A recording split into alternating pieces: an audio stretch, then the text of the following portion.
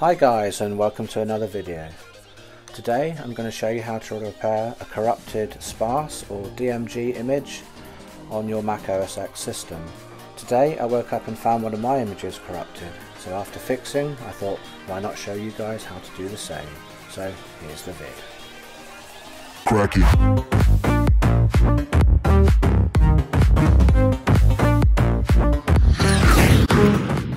So it's um, 8.28 in the morning.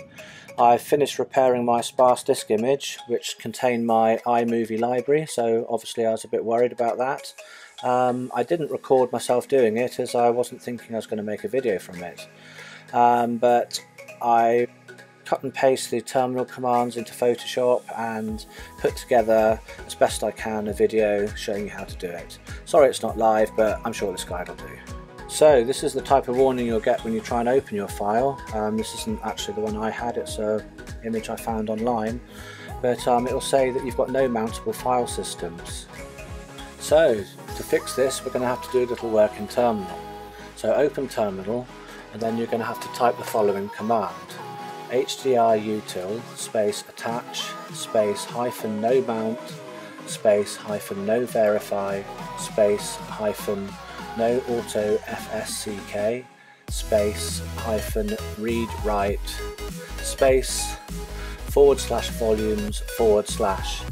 And then the next bit where I've got YouTube forward slash iMovie dot sparse image that's the location on my computer where my image was. Um, I've underlined that in red.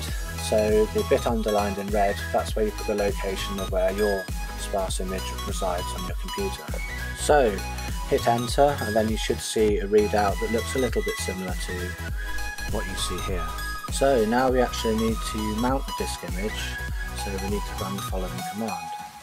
fsck underscore hfs space hyphen drfy space forward slash dev forward slash and now the next bit here where the, I've got on the screen disk 1 S1 that will depend on what you got with um, the last command. So here's the output of the command.